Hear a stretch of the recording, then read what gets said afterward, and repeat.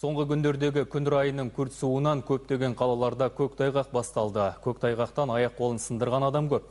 Жарақат алғандардың дені ірі сауда орталықтарының алдымен жүргіншілер жолынан жапа шегіп жатыр. Ал сауда үйлерінің шыға беріс есік алдына айнадай беті жылтыр кафелдер төселген. Қысы қатты Астанада бұл кафелдер нағыз мұз айдына айналады.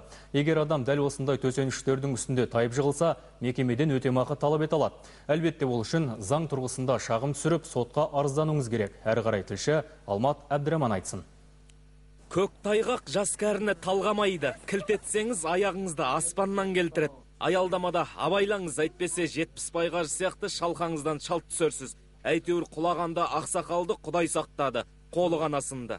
көшеден өтіп кетемін дегенде жол көшеге жолға жетпей тайып кеттім содан құлап қалдым балалар келе жатыр екен артта қыз балалар солар келіп көтеріп тұрғызып қарасам қол салбырап қалыпты сол да бір алланың бір сынағы шығар дедім да а не істеймін Бұл нөмірі 5-ші травматология бөлімшесі. Мұнда күніне көк мұзда құлап қол аяғын морт сындырған 10-15 адам төсекке таңылады.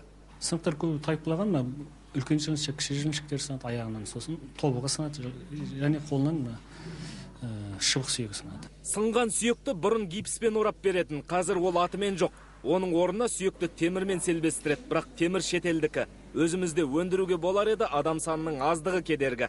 травматологияға операция кезінде салатын темірлер арнайы құрал саймандар қазақстанда шығарылмайды барлығы шетелдік жылына бір он түрлі темір қолданатын болсаң оған соған бола он темірдің түріне бола завод салу мысалға ешқандай пайдалы тиімділігі жоқ Әмина Қалиқызы абайсызда аяғын сындырды. Ол қалың қарда бір мекеменің алдында қазылған шұңқырдың құрбаны болды.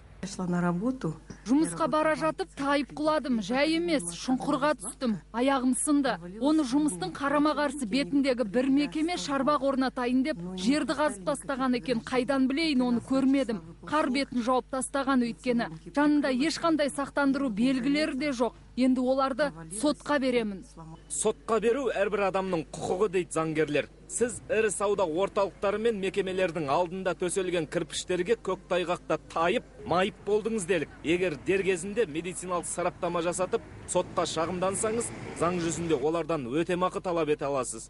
Медициналық көмекке жәрдемге барып сол жерден жаңағы өзінің құлағанын дәлелдеу керек содан кейін сотқа арыз берген кезде осы жағдайды айтып және де жаңағы ауызша емес жазбаша жауап соны жаңағы дәлелдеп сотқа тапсыруға әр адам құқылы Мұстайғақта топырақ себілген жер іздейміз деп жүріп, тоңқалаң асатын түріміз бар. Бисмилля. Айтып ауыз жиғанша болған жоқ, құлап та түстік.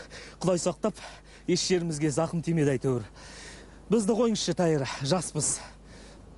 Омақаса құласақ та орнымыздан тұра аламыз. Ал мұндайда қолында қуаты, бойында күші жоқ.